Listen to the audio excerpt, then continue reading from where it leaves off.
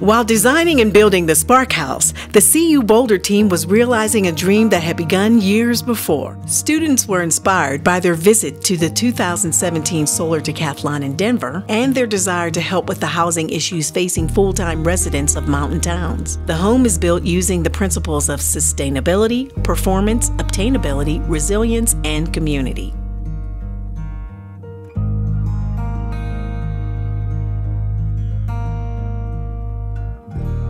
I visited the 2017 Solar Decathlon in Denver, and I just didn't even know that this was possible for students to be actually building, designing and building their own net zero homes. I thought that, you know, only the the industry's best could even do that and instead like it could be us like that was just it was amazing and i wanted to be part of a community of students that were researching, innovating, and I wanted to be part of that conversation. So.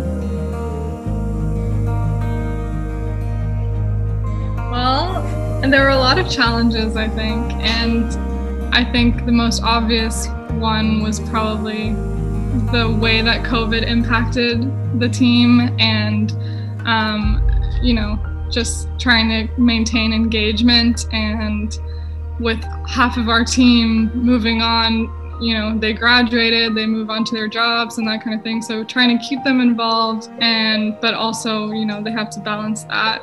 That was a big struggle, I think. So finishing with that new kind of like uh, dynamic was hard. The U.S. Department of Energy Solar Decathlon is a collegiate competition that prepares the next generation of building professionals to design and build high performance, low carbon buildings powered by renewables.